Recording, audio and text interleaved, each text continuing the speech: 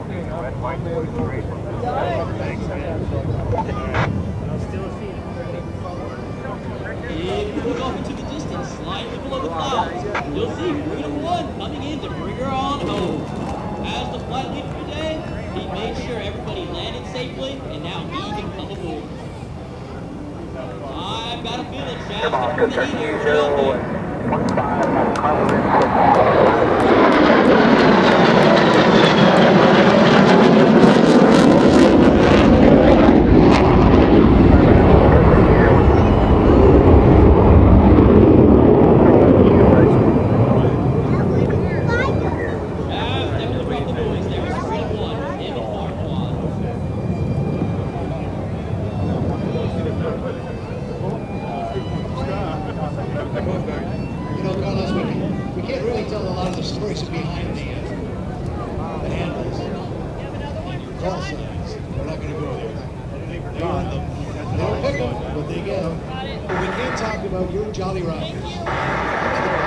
Story on that because traditions of run That's seven gear right.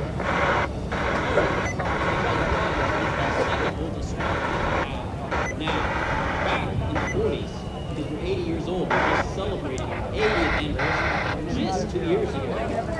We had a pilot by the name of Ensign Jack Ernie. Now, Ensign Jack Ernie was young, but he was unafraid. And that night, he went out on a tactical mission during World War II.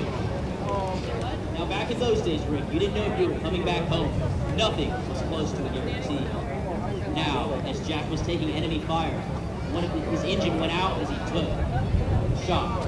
Now, as Jack was stepping out of the plane, he reached out to his skipper and calmly and confidently said, Skipper, always remember me in the Jolly Roger.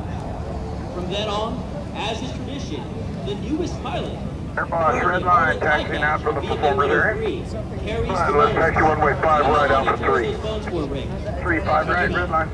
You carry those bones until we get another pilot in the squadron.